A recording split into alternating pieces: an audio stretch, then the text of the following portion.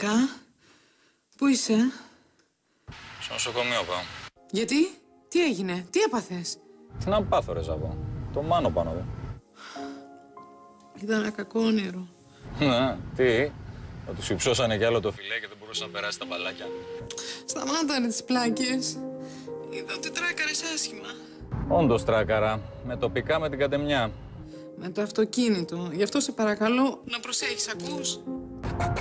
Άκου τη γρουσούζα. Με το τιμόνι στο χέρι να ακούω τέτοια πράγματα. Η άλλη είναι γρουσούζα, όχι εγώ. Την είδα και στον ύπνο μου. Και σου έχω πει να μην τρως βαριά το βράδυ. Σε χαλάει, τι μαγειρεύεις; Εγώ φταίω ρε που ανησυχώ για το τομάρι σου. Άντε. Το τομάρι μου είναι μια χαρά και σου στέλνει θερμούς χαιρετισμούς. Άντε τώρα πέσε για ύπνο να ονειρευτείς τίποτα πιο ενδιαφέρον. Ονειρέψω ότι κέρδισες το Ρολάν Γκαρός. Μόνος στον ύπνο σου.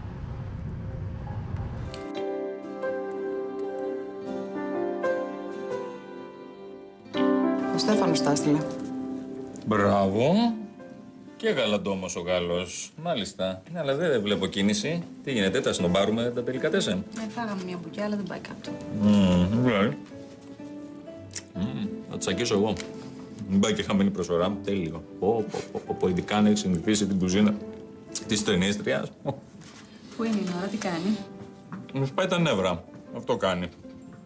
Πριν από λίγο με πήρε τηλέφωνο για να μου πει ότι με είδε στον ύπνο της. Μα λέω εγώ το τέλειο ζευγάρι. Άμα λέω εγώ ότι η ψυχιατρική πτέρυγα είναι κάτω, να πα θα σε κοιτάξουνε. Τώρα δίκιο έχει. Γιατί το λες αυτό; Μέχρι και στον ύπνο της σε βλέπει το κορίτσι. Ε, δεν έχει μάθει για άλλον. Και λεπούρι εδώ. Πού πας παιδάκι μου; Να φάω με την ησυχία μου. Στην εντατική, παρέα με το μάνο. Αυτός τουλάχιστον δεν μιλάει. Ναι, οκ. Αστείο στο αστείο. Θα την έλεγα και τη χοντράδα. Δεν πειράζει, βρε κάκο μου, δεν πειράζει. Σε ξέρουμε πια. Όλοι μας πονάμε με τον τρόπο μας. Απλώς ο καθένας το δείχνει διαφορετικά. Εσύ όλο στο φευγιό είσαι και όλο εδώ μένεις. Τέτοιος βλάκας είμαι. Θα ήμουν τώρα στο ωραίο μου το χωριουδάκι, να φυτεύω το ωραίο μου το ραπανάκι, αλλά όχι, έπρεπε να μείνω εδώ. Να με ταλαιπωρεί η τρελή και ο Καζαμίας.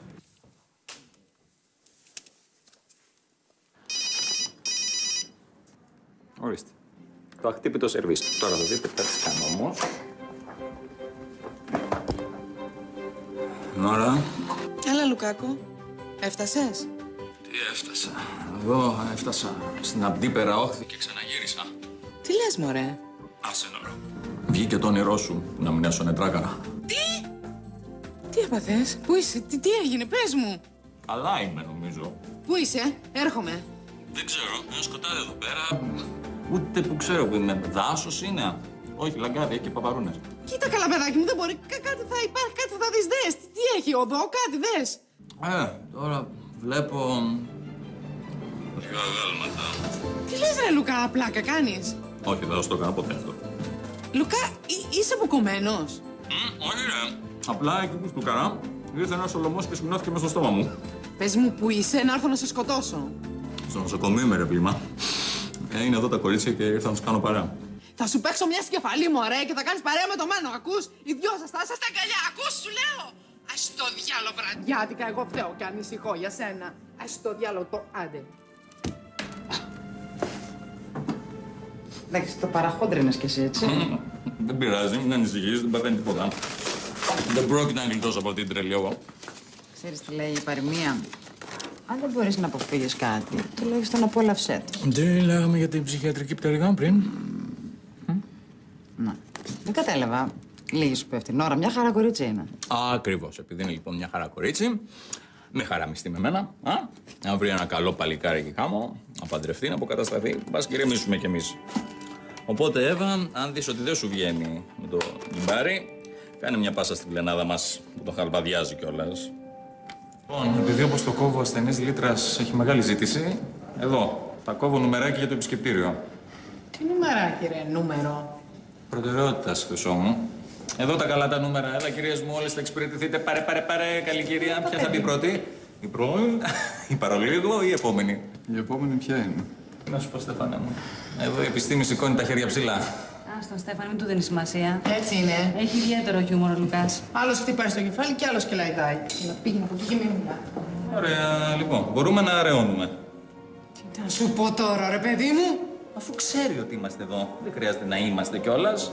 Δηλαδή τι θα κάνει, θα βγει να πάρει παρουσίες, μήπως; Άντε, αραιώνεται τα γυναικόπαιδα σπίτια τους. Έλα ρε παιδιά. Δηλαδή, συγγνώμη, θα του είμαστε καθόλου χρήσιμοι αν καταρρεύσουμε άπαντες; Άντε, Δάφνη, πάμε και στο μωράκι μας και θα ξανάρθουμε. Άντε, και εσύ ώρα στο γραφείο να πάρεις κανένα νικνάκο. Σε έχω δει, σε βολεύει εκεί καλύτερα. Σκάσε, θα σου φέρω καμιά πάπια στο κεφάλι. Έλα, παιδί. Πάμε για σπίτι, αγάπη μου. Θα πάρω την τσάντα μου. Ναι, φύγετε, φύγετε. Θα μείνω εγώ. Γεια σας.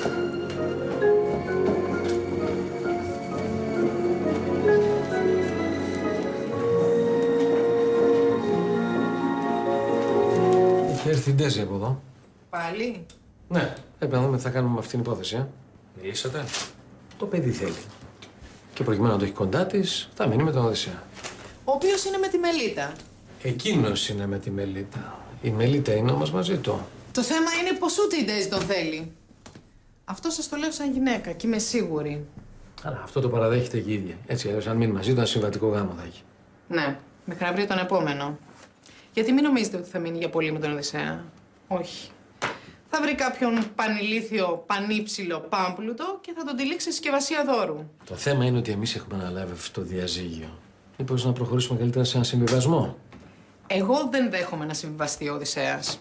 Είναι καλός πατέρας και τόσα χρόνια μεγαλώνει μόνος του το παιδί του. Ήρθε η άλλη τώρα από το πουθενά να μας το παίξει πονεμένη μάνα.